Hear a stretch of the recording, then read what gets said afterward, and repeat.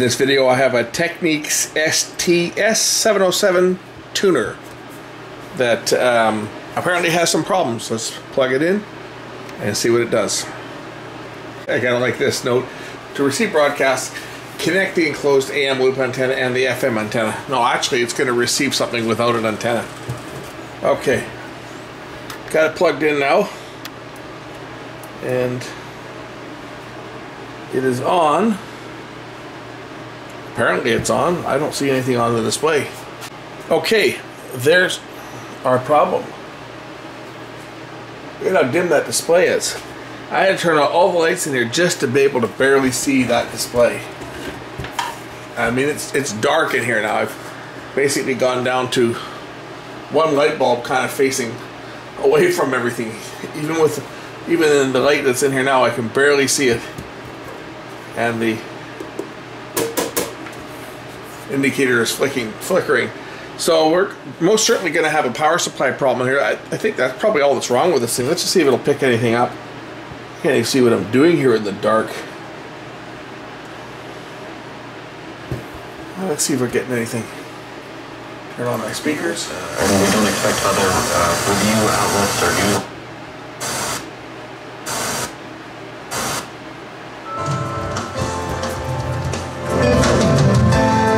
Sounds like it's working. It's just a display that's got a problem.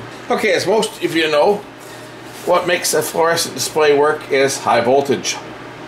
And if the high voltage is low, we are not going to get a proper display. So that's all handled by the power supply here. What I need to do is I need to test the voltages and make sure that I'm getting the proper voltages to that display to make it work. And looking down at these, uh, looks like there's a bit of, almost looks like rust on those caps. Anyway, um, I'm gonna pull a board on this thing so that I can actually do some work on it. I gotta, I gotta take the whole thing apart to get underneath this board. We're gonna have a problem in the power supply here. One of these voltages I think is gonna be a bit low.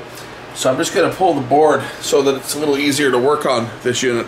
Now this unit's got exposed 120 volt points on the transformer here. So for safety while I'm working on this thing, I'm going to just cover up the 120 volt AC. Even though I'm running through an isolation transformer, uh, I don't want to accidentally make contact here and give myself a nasty shock. So I'm just going to just put some tape. Good idea to insulate, if nothing else, the primary of your uh, transformer, any of the terminals. I'm just going to do the second. Well, I don't need to do the secondary because I might need to measure some voltages there, but I'm going to make sure that the primary at least is covered up. Now I can go in here and make some measurements. For a vacuum fluorescent display to work, you need a high voltage source. Most of them operate 35 or even as much as 60 volts for the grid. So we'll power this thing up. Now you see I'm safe. Turn on the power. And our display is very dim. You can still see it flickering away there. And I just have to find my ground reference on this power supply. That's typically going to be a capacitor source, one of the one of the negatives of a capacitor. So here are some capacitors here. This is probably my negative source. It's a 23 volt supply there. It's an 11 volt supply there. And that's a 24 volt supply. Looks like. Got to figure out which one of these drives the display driver IC. From the looks of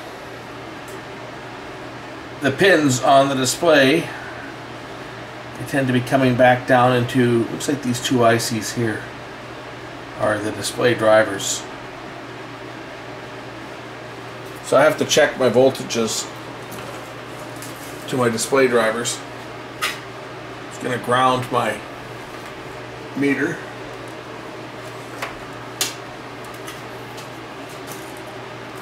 Take one of the chassis ground points here.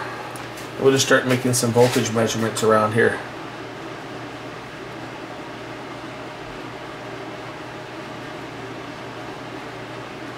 Minus 7. Minus 7. Minus 7. See, some of these ones may be a little bit low. Minus 8. 4 volts. 4 volts. It might be the negative supply that's on the little, little bit on the low side. So to go and find where that where it's regulated or where it's generated. And then up onto this one here, 5 volts, minus 8. I have a feeling it's probably the negative, the negative supply is probably the one that's a little on the low side, minus 1. I do have a suspicion that my fault is going to be probably one of these small capacitors down here. And I bet it's in the negative supply. So this is, it's probably going to be one of these ones. I'm going to, I'm going to uh, get the ESR tester out and just start testing the ESR on some of these capacitors in here. These big ones over here that had the crud around it here, I thought maybe it was the cap was leaking. Those are actually 3.3 farad. They're only like 3 volts each. There's two of them in power, or two of them in series, which gives you about 1.6 farads of energy. Now that's that's a huge amount. It may only be 3 volts, but if you were to short those when they're charged, it would create quite a nice spark. And what this is for is this is for the memory backup, so that when the power is turned off, this doesn't use a battery. A lot of a lot of um, tuners used a battery, like a lithium battery, to maintain the memory when the power was off. This one uses a self-charging capacitor. And I, I, looked at them and they're actually not leaking. I don't know where that corrosion or that crap was coming from, but I just cleaned it up. I pulled the cap off the board and it's it's not bad. Anyway, I'm going to concentrate over here on my supply. See if I can get this this uh, display working a little bit better than it is. Whenever you're working on these tough dog problems, that sometimes is helpful to have a schematic. So I was able to find the schematic, and it looks like this negative supply, there should be a negative 31 volt line. And it is fed off of R709. So let's find R709. That should be a negative 31 volt supply.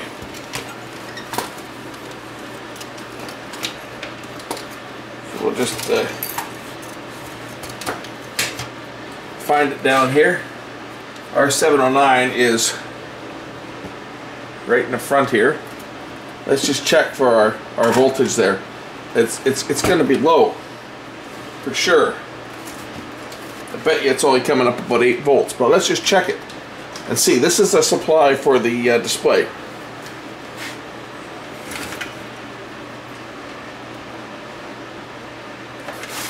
Oh, might help if I turn the meter back on. Yeah, it's only coming up at, at negative 9 volts. And that should be negative 31. So we know the voltage is low. We just have to find out why it's low. We'll go back on the schematic here. This is where I'm measuring it here. And our our negative supply is a, is a voltage doubling is a voltage doubling circuit. So it's taking off the 9 volt supply here and it goes through a couple capacitors and a couple diodes to boost the voltage up. So somewhere in this circuit here is going to be the problem. So let's just look at it one stage at a time. I know it's hard to see on camera, but I've made some progress. I've just bridged one of the capacitors here, C718, and I don't know if I dim some lights down here, you might be able to see it a bit better. But um, if I take, I've just bridged it here. Watch when I remove it, it'll get dimmer. See? Although when I test this on my ESI meter, it's actually testing pretty good. Let's just take a look at uh, what the capacity is, whether we've lost our capacity with the microfarad tester. Because this cap tests good, but when I bridge it in the circuit, it um,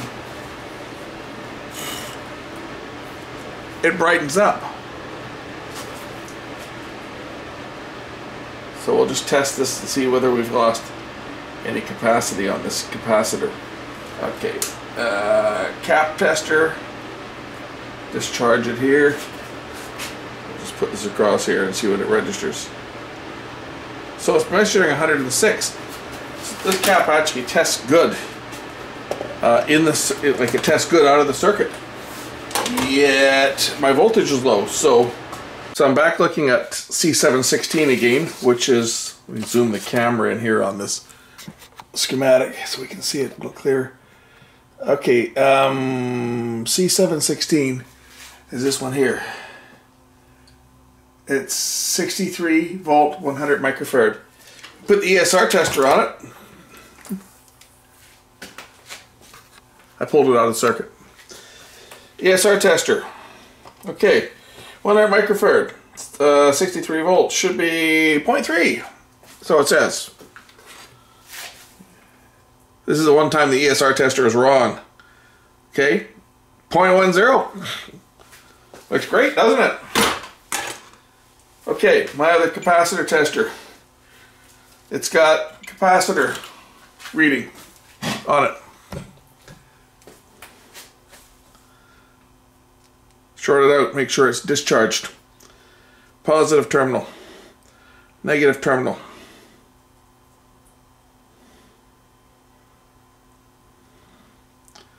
That don't look like no 100 microfarads to me.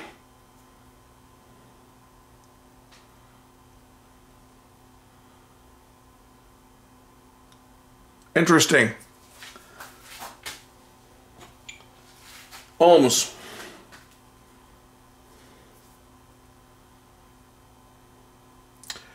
Point four ohms, 0.3 ohms.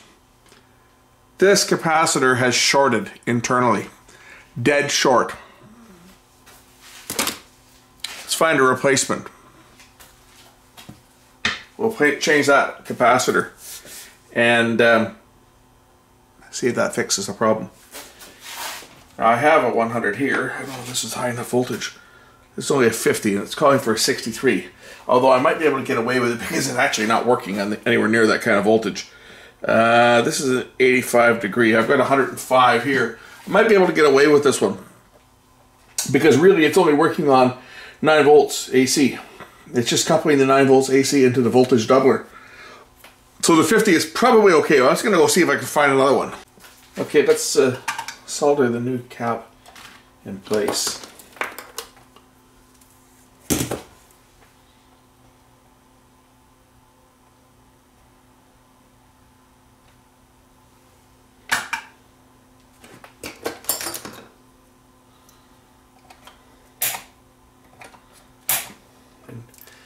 Off the excess leads. I don't know. You guys ready for this? Oh boy. I'm nervous. Are you guys nervous? Oh, power on. Fixed it. Fixed it. Capacitor. C. 716. It's right here. Okay. So how this works, this is the voltage doubler. Actually, it's a tripler. We have our AC 9 volts coming off our transformer. And it goes through the switch, and then it comes through this capacitor. And then it goes through a series of diodes, which basically it pumps.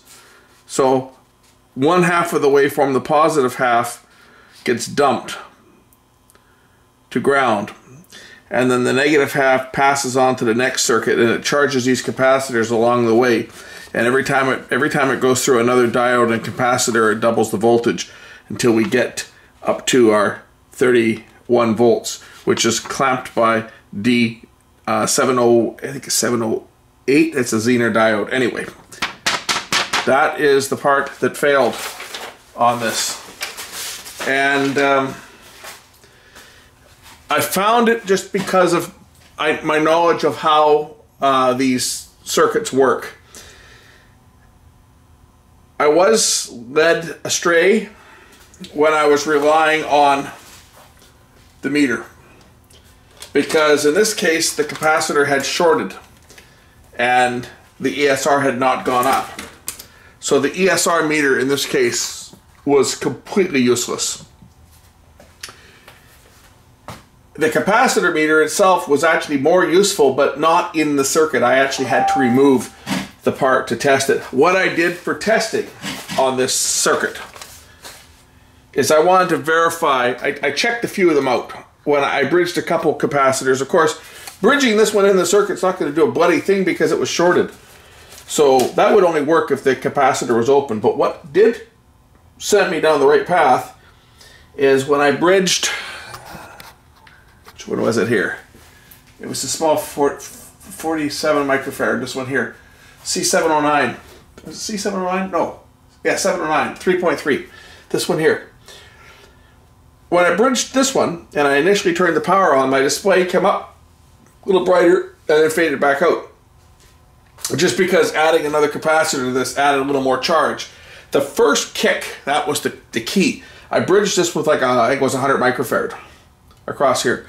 Because what happened was that the first kick that went through that shorted capacitor give me enough of a charge to build up a little more of a charge in this this larger capacitor and my display actually came brighter and then it went back down dim and started the flickering again so that gave me an idea that I, I knew that it was back in the circuit so then what I did is I disconnected R709 because I did not know whether I had a, a loading problem on this side of the resistor or whether I had a power supply problem. So as soon as I disconnected R709, of course I've eliminated the display and I've eliminated the drive IC and everything, and now I've just isolated it down to the circuit, and my voltage never increased.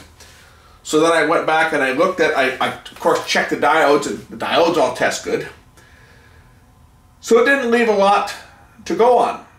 Okay, my capacitors don't test bad for ESR, and I can't measure capacity in circuit with my other meter. I have to pull the capacitors out.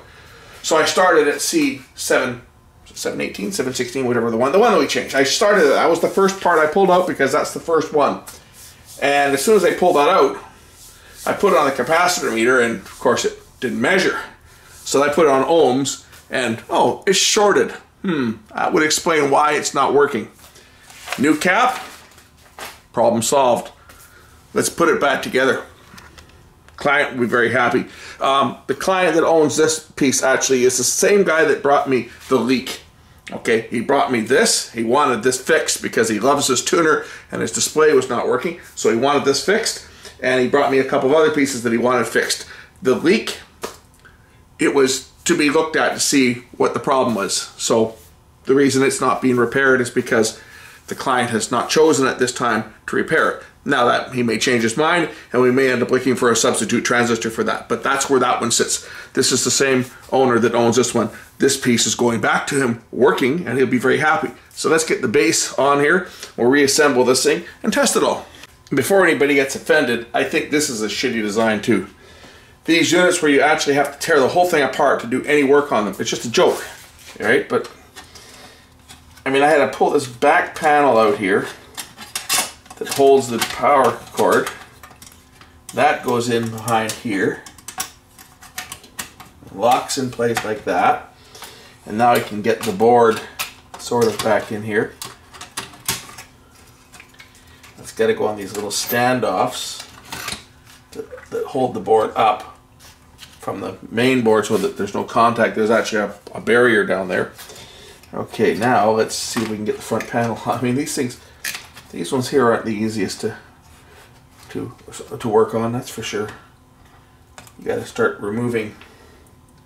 You got to start removing all kinds of different. Uh, you know, you got a dozen screws to remove on here. Got all these grounding screws.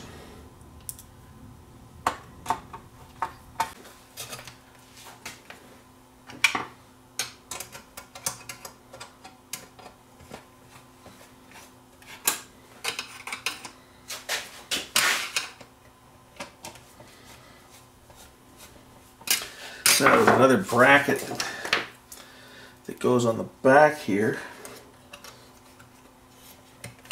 And that holds the display in place.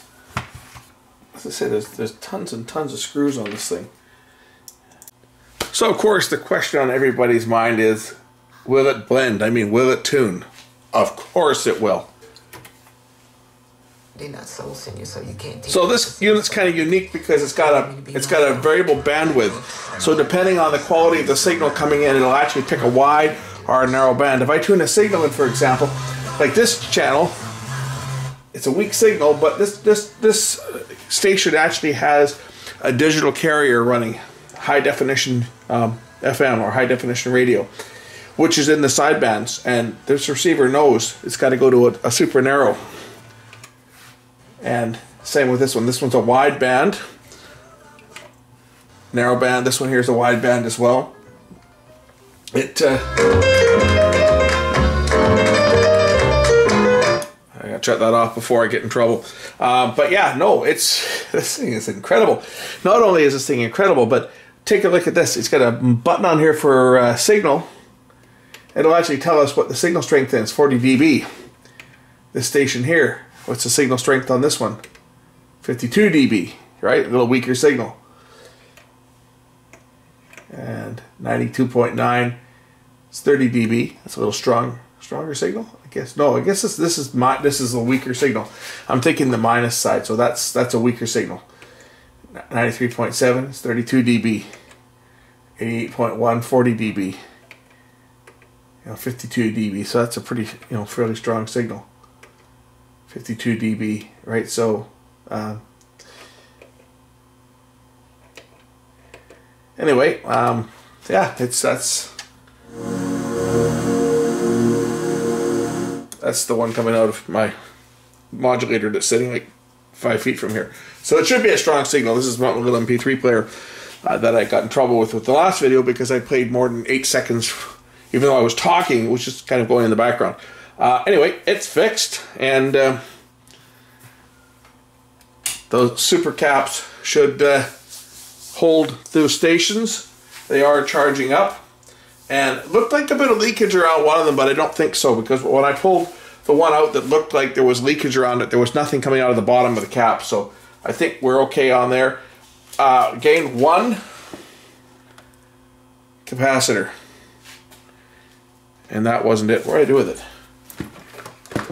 And I know the guy's going to want to probably see this thing, so I got to find the dead cap now, the one that was shorted. Anyway, one shorted cap, that's all it was, killing the display. Thanks for watching. We'll catch you in the next one real soon.